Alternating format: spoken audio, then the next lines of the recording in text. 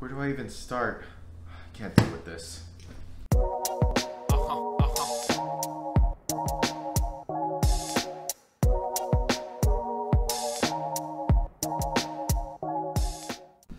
Hey there Pod Squad, welcome back to the channel. My name is Yona, I'm a third year podiatric medical student at CSPM and today I'm going to go over some of the resources that helped me succeed in pathology. And I know a lot of you are thinking pathology is a really hard subject, it's really daunting, you've never heard of this subject before, what does pathology even entail? But it's okay, I know it's a tough subject, but we'll go over some of those resources that will help alleviate some of that stress you're feeling right now. The first resource that I would recommend to all medical students who are taking pathology for the first time is Pathoma. Pathoma is a comprehensive resource that goes over very, very key concepts for pathology. And the lectures are, are incredible. They go into great detail for concepts that are very difficult for a lot of students to, to understand. And I know I use Pathoma, especially during my board studying a lot of the time. Also, they have a book, a separate online book or you can buy a hard copy that goes over key things or key bullet points that you will find, I guarantee, on your exam that you should know about particular diseases, particular infections, and it's a great resource. And I, it's it costs a little bit of money. I think it's $99 per year to use, but the program itself, a lot of students will swear by it that it has helped them do really, really well on pathology. The second resource that I would recommend for you guys is WebPath. WebPath is an amazing online resource that really does a good job highlighting some general pathology, but also some systemic pathology that you could look at some of the pictures for different organ systems, different infections, different histology. Yes, histology is a big part in pathology, and if your professor is testing you on histology, I recommend you to look at WebPath because they have a multitude of slides on histology that if you can recognize that, I'm pretty sure you will do well on your exam.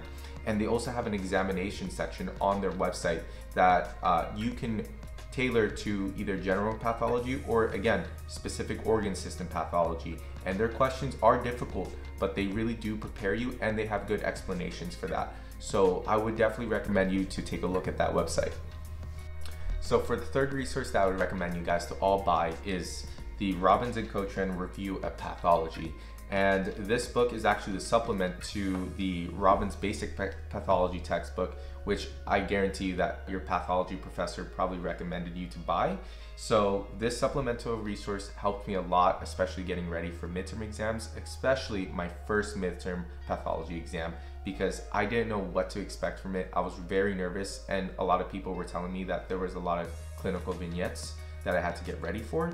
So, this book did a great job presenting questions that were very high yield, and reading just some of the explanations for these questions was an added supplement for me to really learn the concepts really, really well and not be afraid when I took my pathology exams. So, try buying this book.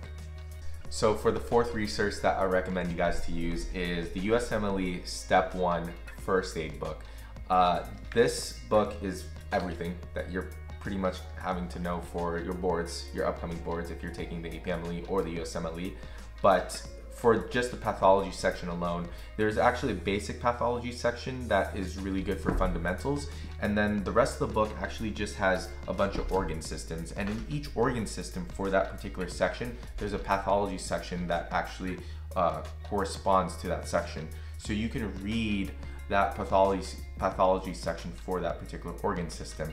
And look, your class is probably going to be separated into different organ systems. So this book is a good supplemental tool to have by your side while you're taking notes, while you're reading your professor's notes. It's it's really nice to have. And additionally, it has other supplemental resources in the back of the book that it goes over that you could also buy in the future that you think could help with your studying. So this book is really uh, everything all in one. And again, you're probably gonna buy this in the future, but if you haven't already, buy it now because it's just gonna be a lifesaver for a lot of your classes.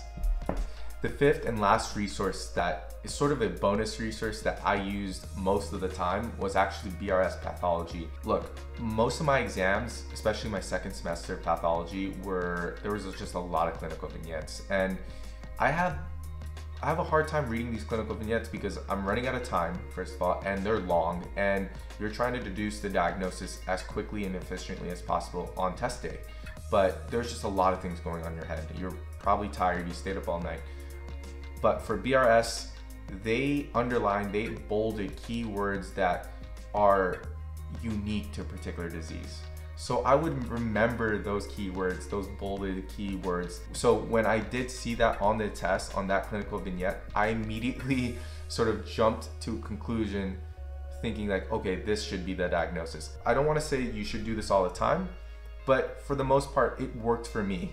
And it's a dirty little trick that some students use, and I really liked using it. So if you find yourself running out of time and you don't have a lot of time to study, try to utilize BRS and it'll probably help you in the long run.